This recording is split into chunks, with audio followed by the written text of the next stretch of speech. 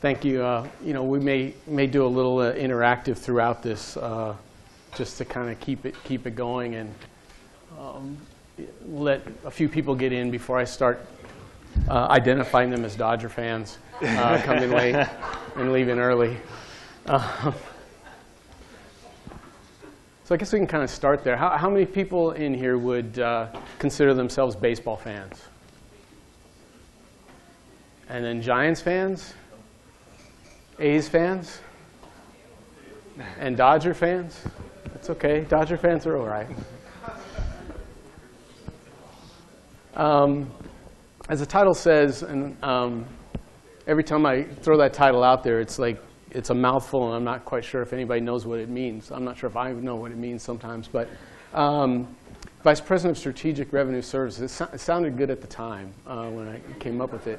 Um, my, my area at the Giants is everything from, you know, if I want to get booed out of the room, I say I'm the guy who sets all the ticket prices, um, which is true. Um, um, which, you know, it has a good side and a bad side. Um, I also, within my group, have um, CRM responsibility, ticket technology, um, customer communication, email marketing, um, the relationship with Major League Baseball Advanced Media, um, you know, potentially the most successful internet company ever created, I think. Um, at least uh, very dumb luck by the owners that that occurred.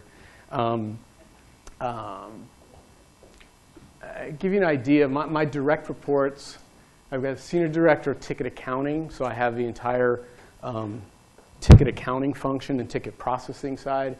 Um, We've got a data analyst CRM manager, um, a manager of sales strategy, and then kind of a, a catch-all strategic solutions coordinator who does everything from um, our customer survey development to uh, working on uh, keeping the sales gamification program going, um, as well as starting to work with our uh, data visualizations with Tableau and, and that kind of stuff.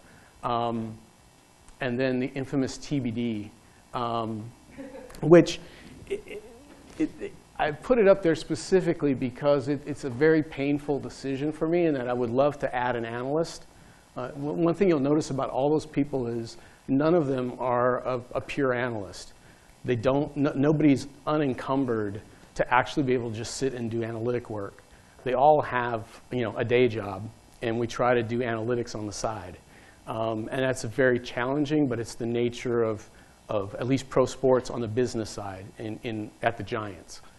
And I would say part of that is because we were maybe a leader in analytics um, doing it as a part-time job, and a bunch of teams now have kind of leapfrogged us, where they actually have created analytic groups that are more free to truly be analysts.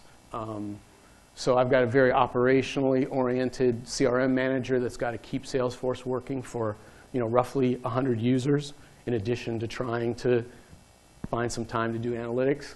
Sales manager that's putting on special events and you know, selling 20,000 Little League tickets to a bunch of uh, Little Leagues.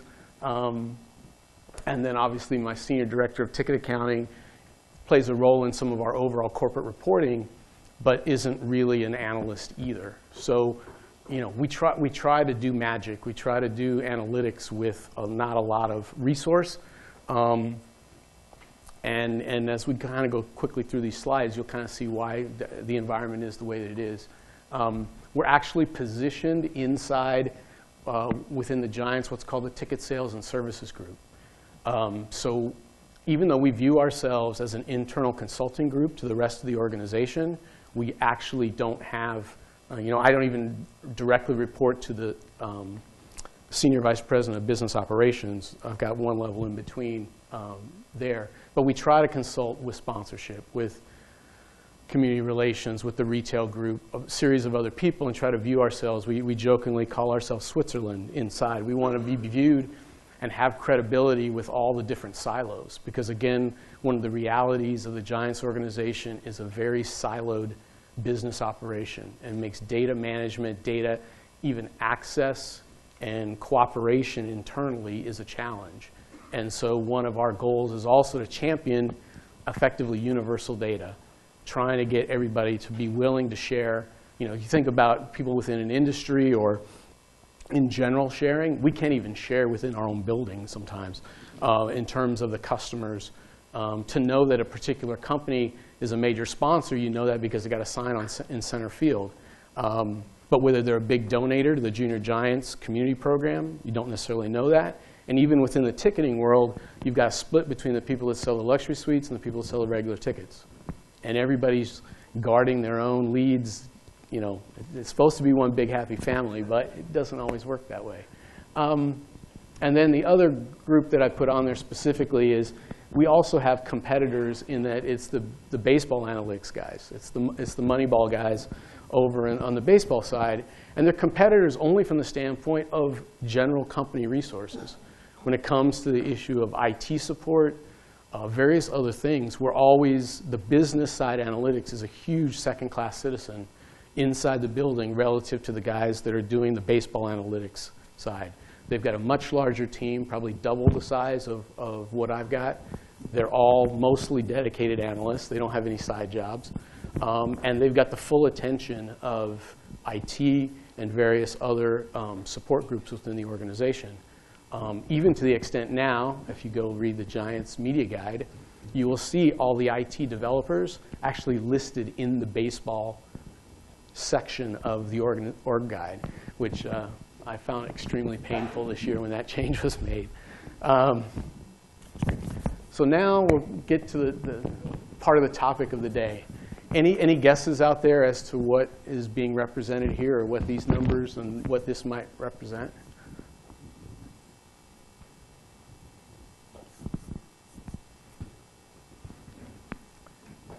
This game right here is significant because it's the last non-sellout at AT&T Park. September 30 of 2010.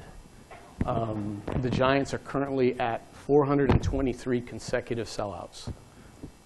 Um, that's the major league history of sellouts. we we now have the National League record, passing the Phillies a while ago.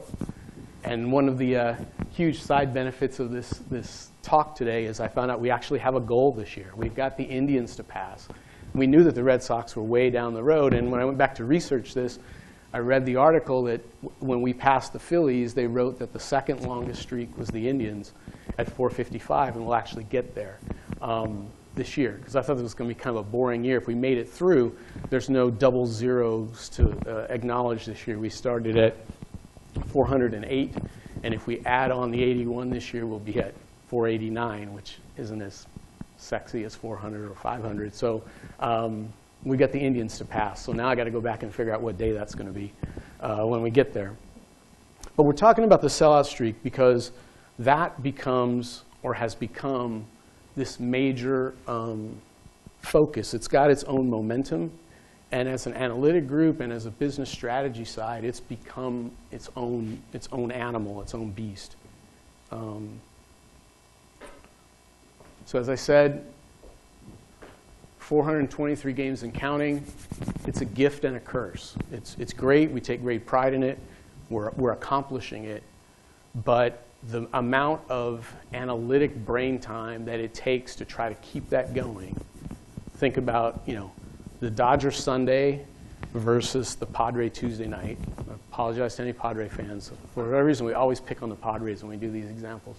Um, um, and the major tool here within this, again from the analytics side, is dynamic pricing. Um, theoretically, you're trying to maintain this sellout streak, but at the same time, as I said at the bottom, but don't forget to maximize ticket revenue while you're doing it. Um, and those are not aligned goals. Uh, trust me, living, living in the world of this, if I was trying to maximize revenue, sellout streak would not be part of that model um, in any way. And so basically the, um, the mandate from, from, from Larry and, and management is do them both. We want all the money that we can, but don't let the sellout streak go. Um, so as I said, just to give you a sense of what that task is, you're trying to maximize revenue, fill the house for 81 unique events in the span of 180 days during the season. Not much time to come up for air, They're all kind of different. There's a huge um, set of factors that are involved in trying to understand the demand for each of those games. Um, and everything, all sorts of things can change it. Um, for the strangest reason, you imagine this last week, we were absolutely huge Portland Trailblazer fans on um, last Thursday night, when I think it was Thursday night, when they had a chance to close out that series in game six. And why? So that we wouldn't have a conflict last night, I believe it was last night, where the next, it had, had that series gone seven, then the Warriors wouldn't have started until Tuesday, and they would have played again last night and been direct conflict with our game. So I mean, that, all crazy things like that go into this concept of how do we try to get this all done and factor this all through. Um, just to throw a few things out here, factors related to the demand for a baseball game. And this is, this is a handful of them. But what I wanted to really point out is, again, from an analytic standpoint, many of these are known somewhat in advance. Many of these are not known until 24 hours before the game. Or in the case of this Warrior conflict, we had about three days' notice to know whether it was going to happen or not happen. Um, uh, so just to quickly go through, obviously day of the week, time of the year, game time, some of those are within our control, the game times are. Um, the schedule comes out you know, roughly in September. So we maybe get about a month to work with the schedule before we're actually setting any kind of pricing strategies and putting that into place. But you still have, and again, I think back to um, this, I'm now in my 25th year at the Giants. Um, I think back to the old days where every game was the same price.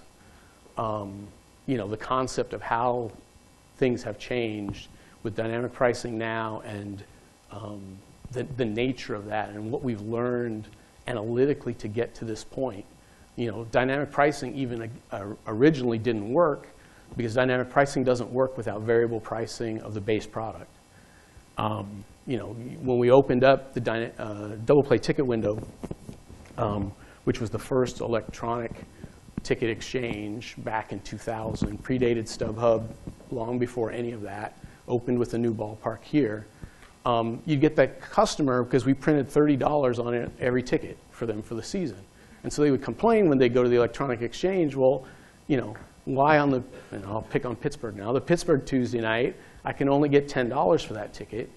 And we, because we thought it was the right open market, or market practice, we put the actual floor of $30 as to the lowest you could put the ticket up for. So we really created an unfair market asked these guys to try to live in it. And on the Dodger Sunday, they got their 60 or $70 and they were happy. But on the, on the Pittsburgh Tuesday, we told them the minimum you can post it for is the $30 we printed on the ticket, the, the straight line pricing. And they couldn't sell it. It didn't go anywhere. Um, that was year one. And now, you know, 16 years in, we know a lot more. We don't control the exchange anymore, but we understand a lot more of what's there. But again, I'll, I've always told people the most important component of that whole project was not the revenues we would get from the transactions and doing the secondary market. It was the information. It was understanding what our product really was worth. By being able to put your product out in a circumstance where it's in a market condition and you're allowing the market to tell you what's there, every year we've gotten better pricing since then.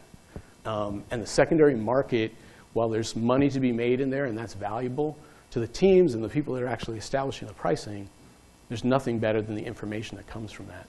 Um, another quick uh, question. How many in here, when I say ticket broker, is that a bad thing or a good thing? How many think it's a bad thing, the concept of ticket brokers? And how many think it's a good thing? Okay, good. The Giants are very much on it's a good thing side of things. Um, we are very pro ticket broker and that whole concept. It's a, a significant part of our business model. Um, it allows for efficiency of sale. We probably have, you know, I don't know, a handful less salespeople on staff because of the fact that we're willing to sell to ticket brokers and embrace them.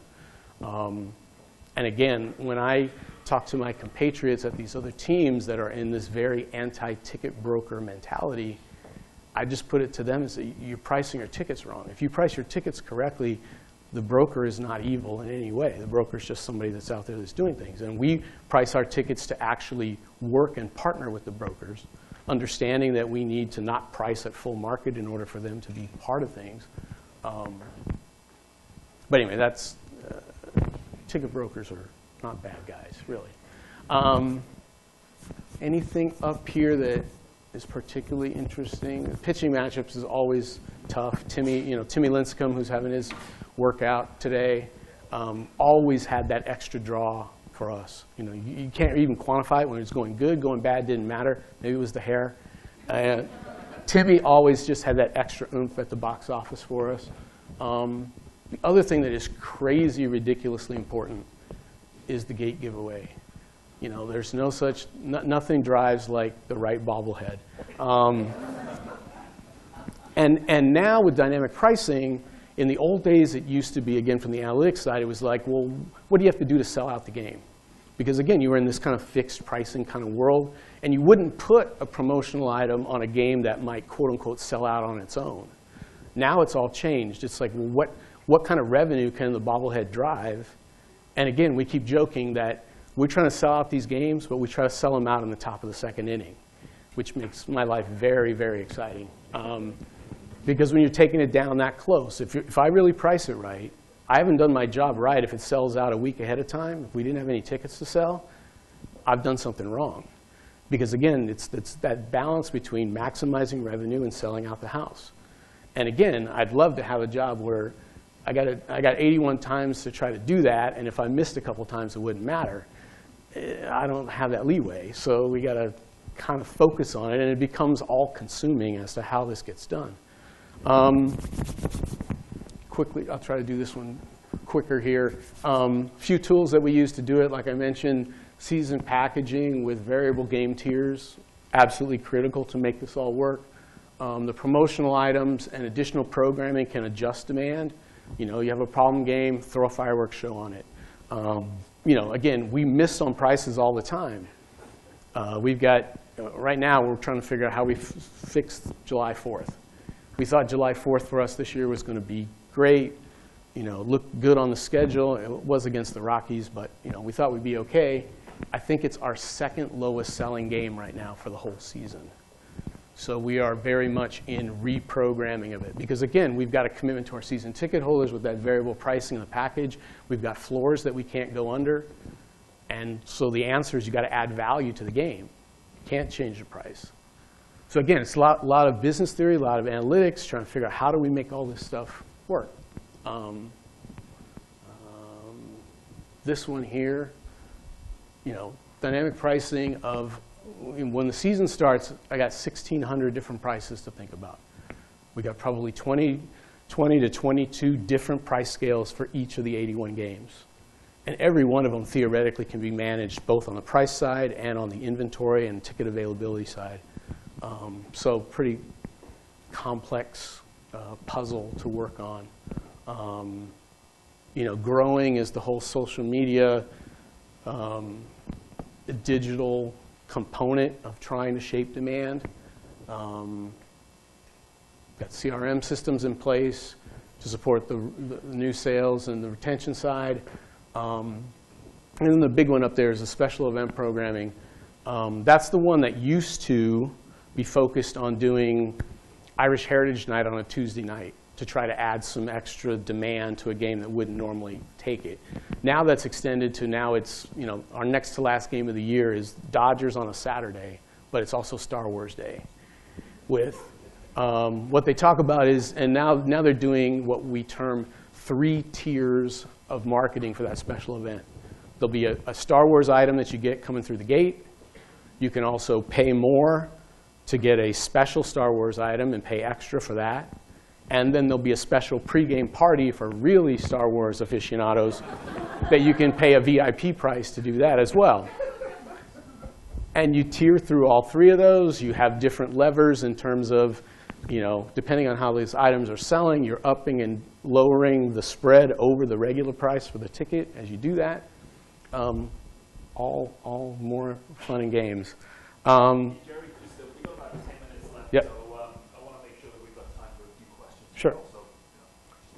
Yeah, I will, I, will blow through these. Um, just a sense of data sources. The main thing here is to see that most of the data that we get doesn't come to us cleanly. It's all coming from a third party, adds all sorts of extra complexity to what we're trying to do.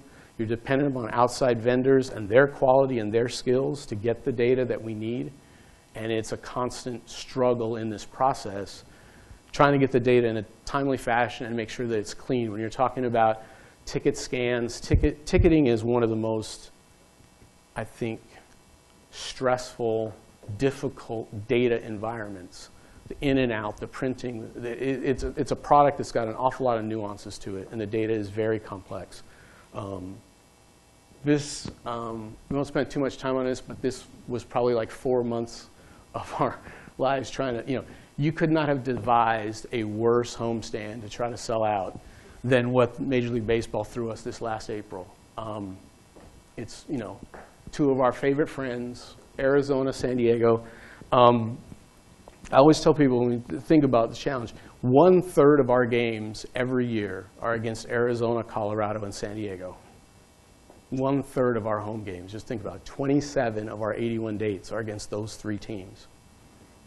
And again, not trying to offend any of the fans in here of any of those teams, but there's just no natural attraction, no rivalry, no spark to those three. There's no natural positive demand for us for those guys.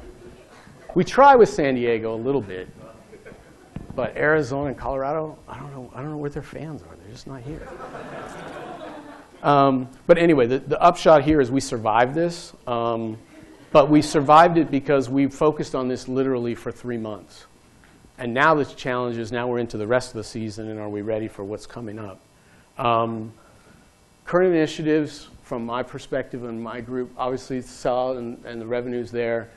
Still trying to establish a, a, true foundation with a data warehouse for reporting and analytics. Um, trying to work on figuring out the best data information delivery methods to our senior executives and the rest of the folks that rely on this stuff for decision making.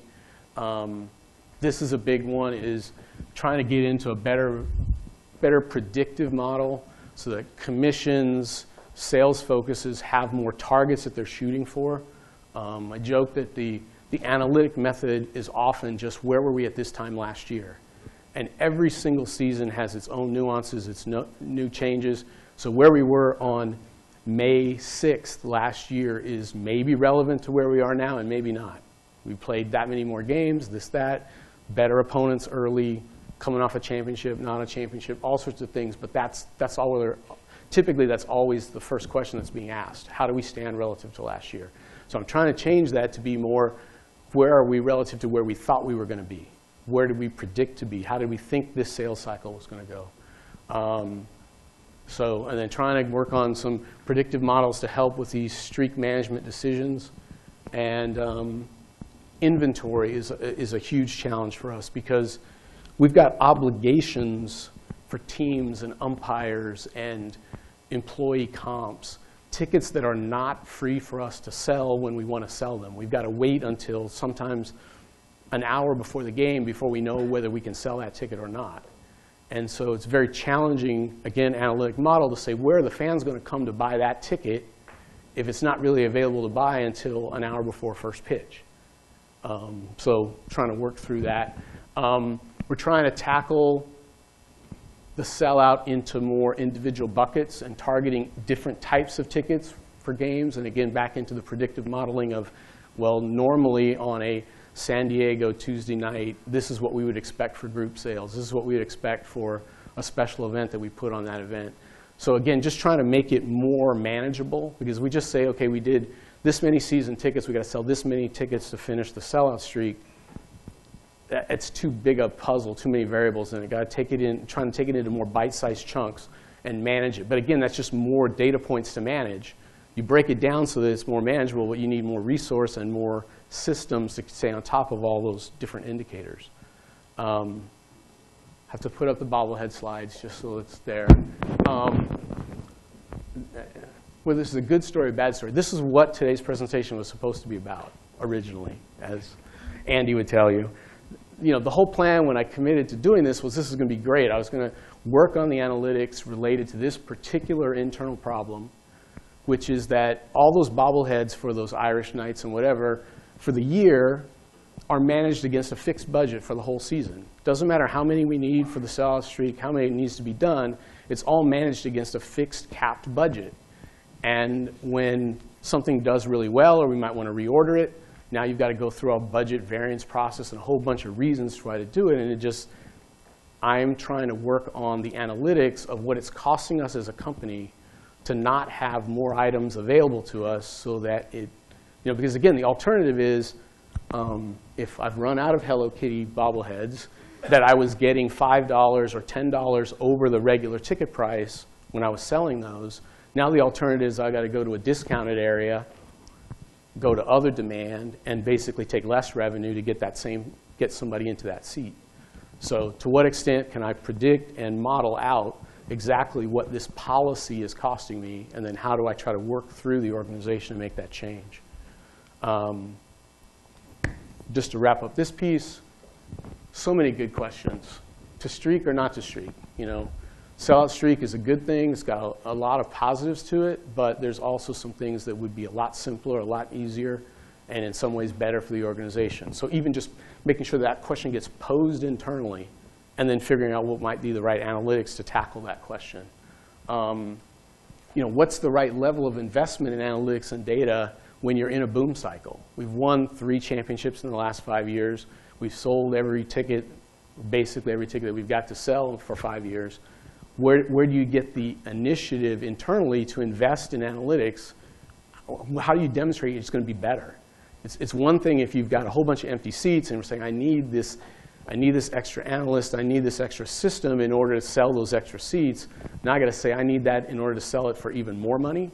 And those of you that are paying those ticket prices, I apologize, but that's what they want me to do. Um, and then we're not a strong analytic organization, and the industry, despite Moneyball, we're not really that either. It's really come, you know, it wasn't that long ago that baseball scouting was that guy with the cigar sitting there writing some handwritten notes and phoning them in. And it, it, when I started 25 years ago, that's definitely the way that it was.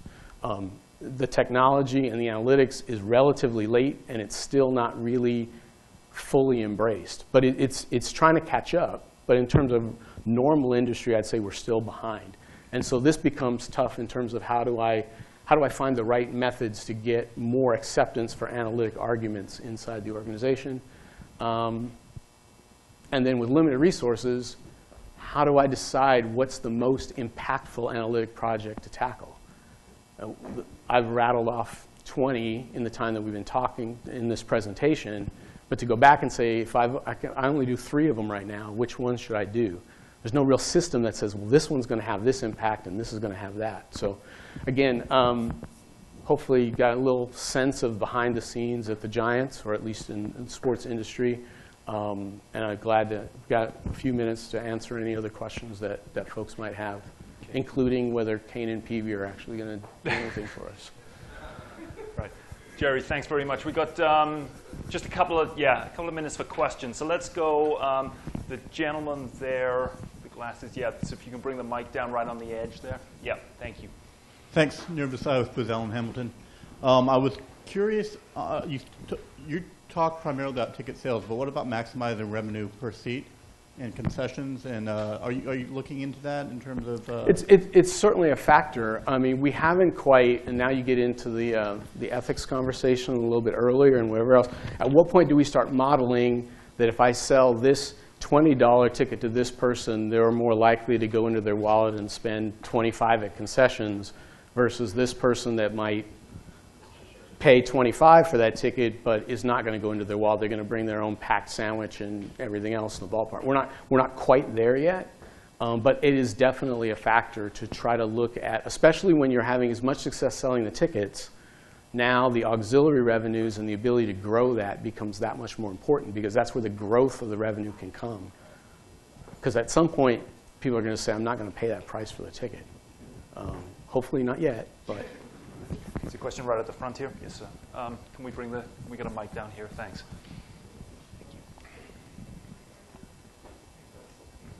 My question had to do uh, with that impact, uh, knowing that you can't really say uh, this season looks like last season or the season before that.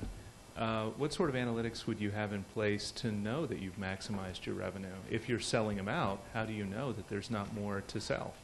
Well, I mean, we, we use a, you know, a Qcue, a third party that helps make some recommendations on pricing, because again, those 1,600 is hard to stay on top of. Um, And you're right, year to year, you have challenges.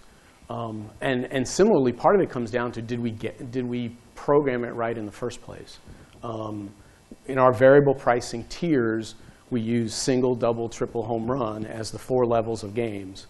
And so that's been communicated to the customers for years now, that as a season ticket holder, you get your package, you understand it's a single game, a double game, triple game.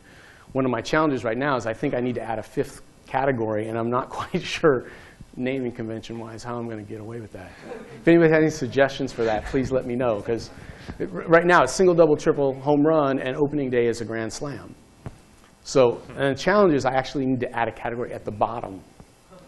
So I don't want to call a game a strikeout. That's a bad out, idea. Um, so we got to think about something that goes be, below single. Maybe it's a walk. Maybe it's, maybe it's a walk. But because again, we just, we, you get constrained in the model with just the, those categories. And what we found effectively is what our singles are in the months of April and September are actually just enough weak enough that we really need another category um, you know, in order, and again, ideally you'd have 81 different ones, but you have to, you're balancing off the analytic complexity with what the consumer base is willing to accept.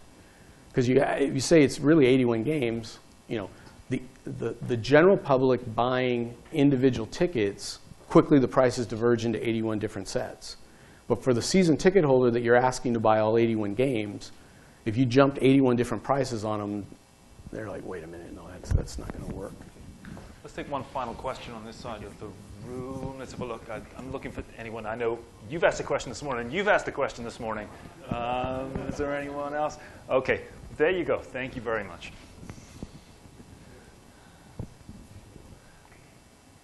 So I I occasionally hear concern about the Giants sort of appealing more to a white collar audience, less to a blue collar audience. And I'm wondering, you know, that's kind of a long term issue that I think you guys can or cannot deal with in your group. I don't know. But I'm wondering how much you, you are able to actually kind of work with that sort of thing and see if, if there's a way of, of reaching out to people who are not in the traditional audience. Well, there's a couple, a couple ways there. One is that we uh, definitely want to stay affordable across the spectrum. Um, As much as we talk about the high ticket prices, when the season started, there were at least 15 games that there was a $9 ticket. We, when we opened the ballpark, we wanted to be competitive with a movie. I think we're now under a movie in terms of the price to come out to the ballpark. Um, one of the things that we do, and that those special events that I talked about, and the Irish Night and the other thing, you're reaching out to that non-traditional fan. And we actually um, we have some baseball ticketing meetings in Seattle next week, and one of the things we were asked to present on was the new customer acquisition component of those special events. And we did some quick analysis earlier this week, and we found that it now represents 10% of the new customers into the Giants world every year are the people that are coming to specifically their first purchase was Star Wars Day or it was Irish Night or it was Stitch and Pitch Night, whatever the case was. Of those, 30% of those people have now an independent second transaction with us after that first one. And some of those include group sales, luxury purchases, and season tickets.